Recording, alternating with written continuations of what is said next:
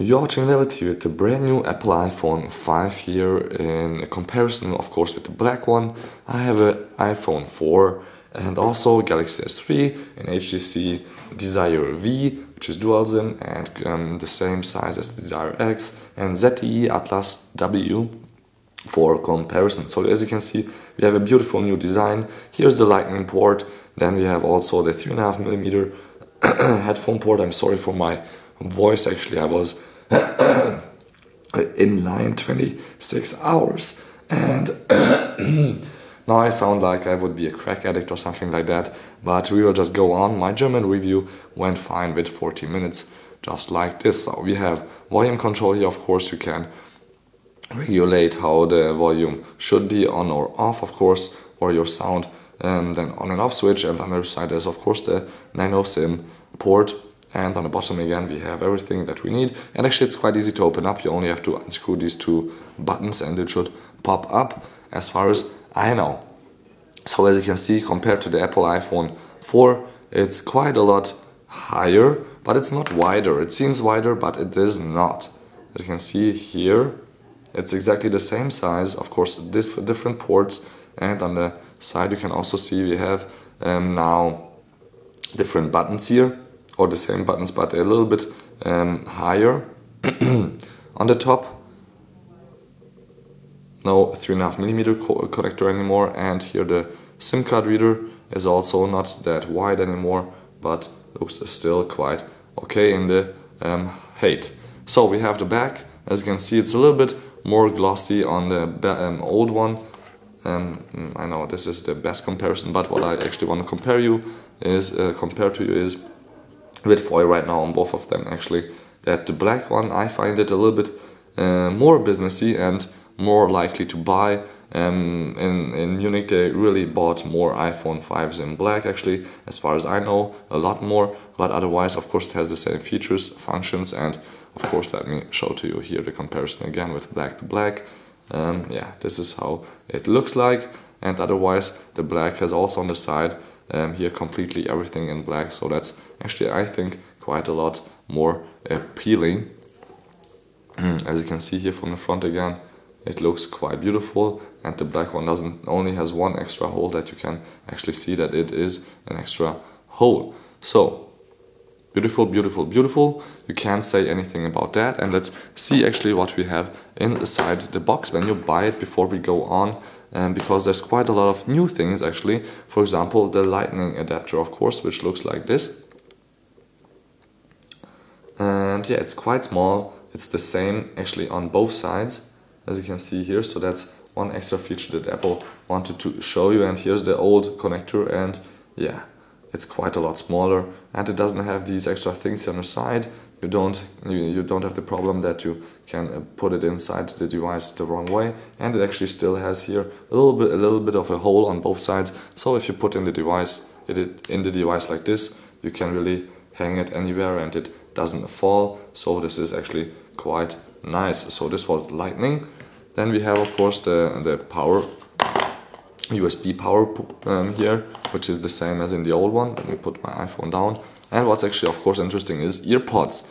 These have quite great sound and compared to the old ones a lot a lot a lot better. So it's worth to buy it then for 29.99 if you have an old iPhone but want better sound then we have of course still the same cable not golden but uh, three connector ports and otherwise volume control in the middle you can answer calls also and of course these look a little bit different. They are kind of in ear, so they go inside your ear, but it's nothing with, with rubber. You cannot lose anything, like for example with the these uh, Samsung headphones, which are in ear, and then also inside all Samsung products, as far as I know. And they have these rubber things in the front, which you can lose, but these are actually quite nice for most sized ears.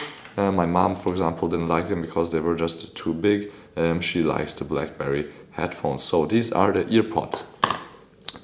That's it from actually what's inside the box. And let's see what the operating system can do for us. Slide to unlock, 33% battery. I did a 10 minute review uh, which had 34% before, so 1% in 10 minutes at auto brightness. And what else I want to tell you about the battery life is last uh, night I had it at 44% at 6 p.m. haven't had it on since then. I know, how can you keep your hands off an iPhone 5? I mean, it's the same as an iPhone 4, but only one row of apps more. As you can see here, nothing special actually, just one row more apps and of course iOS 6, but you have that also on other devices. And now you can actually see here that I have 33% after about 10 um, hours, no, a little bit more than 10 hours. We have now um, 10 a.m. So you can just count that, about half a percent um, every hour in standby mode with Wi-Fi. And I don't have a SIM card inside, so you can think about that. So let's go to Maps. Probably one of the most interesting features is that um, they have a new Maps, and you can see I have loaded already Munich over Wi-Fi, which is of course not a problem. And you can just go here, zoom inside. Um, you can change the angle, of course also, and then you can see here that we have here, for example, in Munich now these beautiful towers which are bright in the city, and you can really use it quite quickly. You can here hit, for example, some kind of company that is on the screen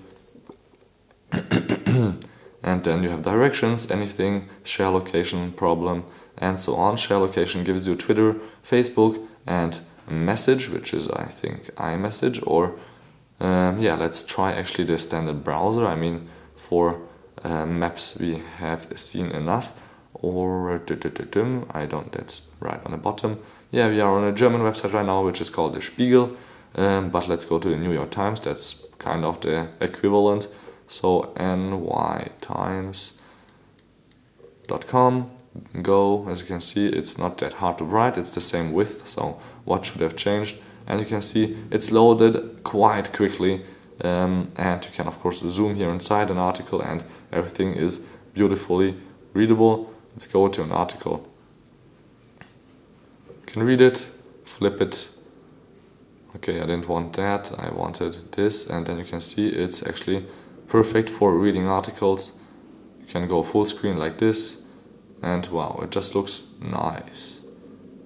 So even outdoors the display is readable, more readable than my Galaxy S3 as far as I would say, but one another nice feature is the fast processor allows us to use uh, the camera not only um, more freely with HD videos, but also you can shoot not only photos like this, so okay, I don't know, like I have to wait for it to save, but you can do also this.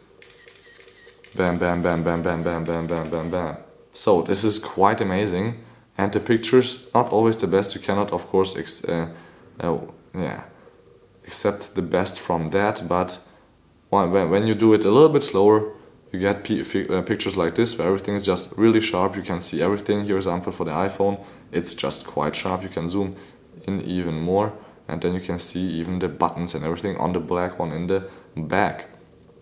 So what's of course more interesting also is video function, how good is the focus? Let's try out that. Can go really closely, maybe to the iPhone, say I want to focus it right there and then it just looks so amazing on the screen and later also on the big screen and let me go out here to the cable um, you will see the what I recorded just in a second. And let's stop, 20 seconds is enough. And 16 by 9 screen of course allows you to edit better and to have better video functionality also with YouTube and everything else, which is still inside actually iOS 6, but not as an extra app anymore. But you can go to the website and, for example, share also via YouTube, and then the app is inside, so it's a little bit more hidden. So as you can see, everything is quite sharp, looks beautiful, and the battery is slowly but surely going down 32%. Again here let's write something um, here with the English keyboard la, la, la, so you can see it's quite fast responsive and you can type for example devil and devil take focus. Okay I misspelled bam and it's done. I won't show you Siri, Siri hasn't changed much so that's actually it from our iPhone 5 review um, except for size comparisons. Size matters sometimes as you can see here for example Samsung Galaxy S3 huge thing. Let's go to the apps so it looks a little bit the same.